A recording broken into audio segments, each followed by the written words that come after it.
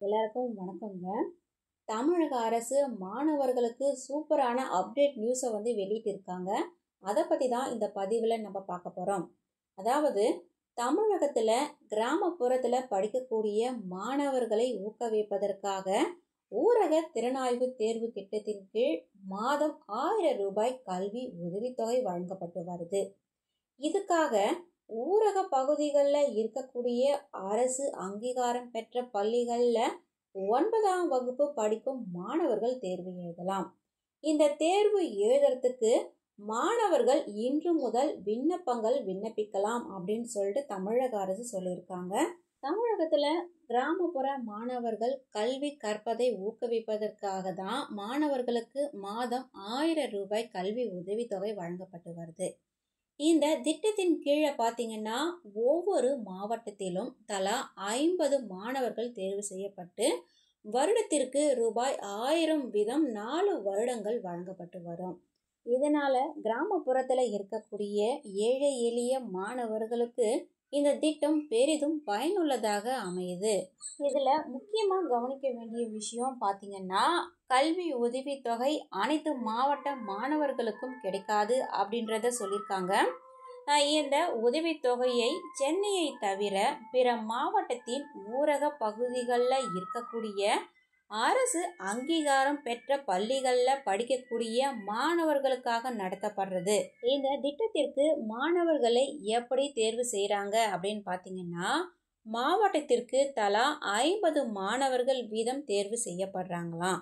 அதாவது கல்வி உதவித்தொகையை பெறும் மாணவர்களின் தகுதியை நிர்ணயிக்க ஊரக திறனாய்வு இந்த தேர்வை வந்து நடத்துகிறாங்க இதில் அதிக மதிப்பெண் பெறும் முதல் ஐம்பது மாணவர்களுக்கு தான் மாதந்தோறும் ஆயிரம் ரூபாய் நாலு ஆண்டுகளுக்கு வழங்கப்படுது. இந்த திறனாய்வு தேர்வுக்கு மாணவர்கள் இன்று முதல் விண்ணப்பிக்கலாம் அப்படின்னு சொல்லிட்டு தமிழக அரசு அறிவிச்சிருக்காங்க. இது தொடர்பாக பார்த்தீங்கன்னா தமிழக தேர்வுத்துறை இயக்குனர் லதா அனைத்து மாவட்ட முதன்மை கல்வி அதிகாரிகளுக்கும் சுற்றறிக்கை அனுப்பியிருக்காங்க. இந்த திட்டத்தில் மாணவர்கள் பயன் பெறுவதற்கு சில விதிமுறைகள் கொடுக்கப்பட்டிருக்குது. அதாவது பெற்றோர் ஆண்டு வருமானம் ஒரு லட்சத்திற்கு கீழே இருக்கணும் அப்படின்றதாங்க இந்த ஆண்டுக்கான தேர்வு வரும் டிசம்பர் நாலாம் தேதி நடக்கும் அப்படின்னு சொல்லியிருக்காங்க.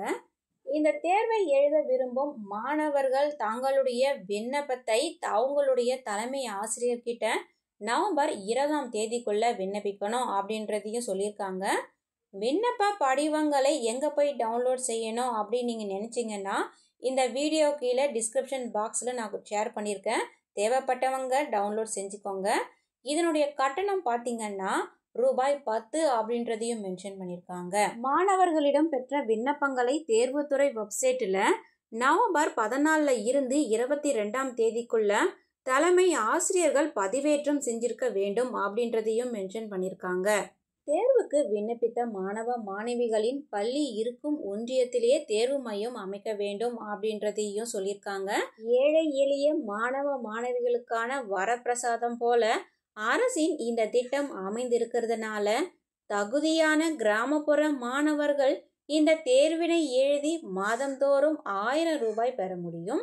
முக்கியமாக நகராட்சி மாநகராட்சி பள்ளிகளில் படிக்கும் மாணவ மாணவிகள் விண்ணப்பிக்க முடியாது அப்படின்றதையும் மென்ஷன் பண்ணியிருக்காங்க இந்த தகவல் உங்களுக்கு பயனுள்ளதாக இருந்துச்சுன்னா மற்றவங்க கூட ஷேர் பண்ணுங்கள் லைக் பண்ணுங்கள் கமெண்ட்ஸ் இருந்தால் பண்ணுங்கள் அடுத்த ஒரு நல்ல பதிவுடன் நான் உங்களை சந்திக்கிறேன். நன்றி வணக்கம்.